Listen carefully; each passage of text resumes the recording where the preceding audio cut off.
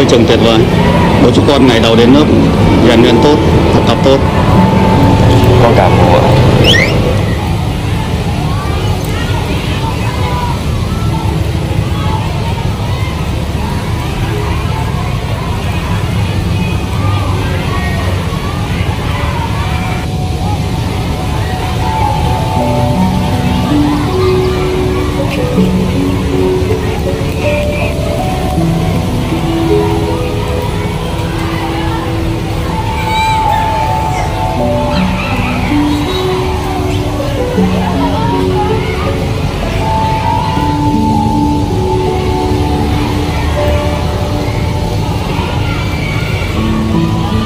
kỳ đâu ấy.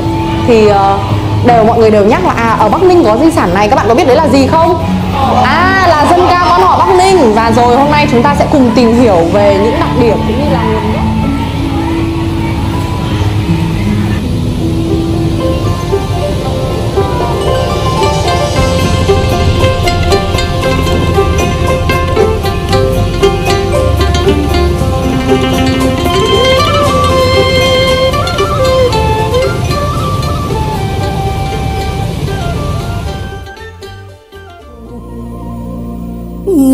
Người